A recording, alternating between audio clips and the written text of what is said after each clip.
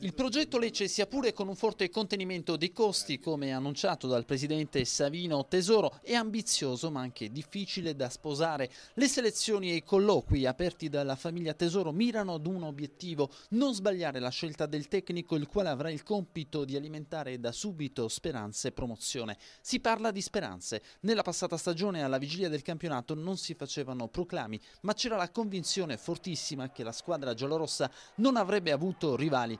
La stagione è andata in maniera diversa da un certo punto in poi. Due cambi in panchina e tre tecnici non sono bastati a centrare l'obiettivo. Persa l'occasione di tornare in B con una squadra che avrebbe avuto già la sua spina dorsale e tanta esperienza. Benassi, Forza Esposito, Martinez, Giacomazzi, Boiacino per non dimenticare Cevanton e forse Pia e Geda. Il mancato approdo al porto della Serie B rivoluziona i piani, i progetti. Non si riparte a vele spiegate ma spinti dal vento di una programmazione formazione giudiziosa dopo una stagione in cui tecnica ed esperienza sono state incenerite dall'entusiasmo, dalla forza di volontà e dalla tenuta atletica clamorosamente mancate a Lecce.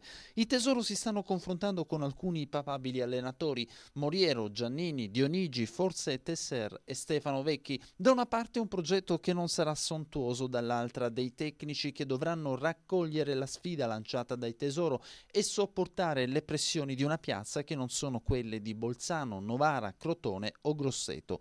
Cercheremo, ho detto, di fare una squadra, di allestire una squadra competitiva, di, di categoria più che altro, competitiva non più ho detto con i grandi nomi, con la grande tecnica. La margherita che il Lecce sta sfogliando è il segnale che la società leccese non ha scelto una via precisa e il problema non è solo ricercare l'uomo giusto ma anche ricevere un sì dagli allenatori contattati e capire quanto può essere elastico rispetto alle premesse sin qui fatte il campo di manovra di Antonio Tesoro, responsabile dell'area tecnica e della gestione dei soldi del padre presidente. Il primo ad essere condizionato sarà proprio Antonio Tesoro, costretto a fare bene senza grandi firme.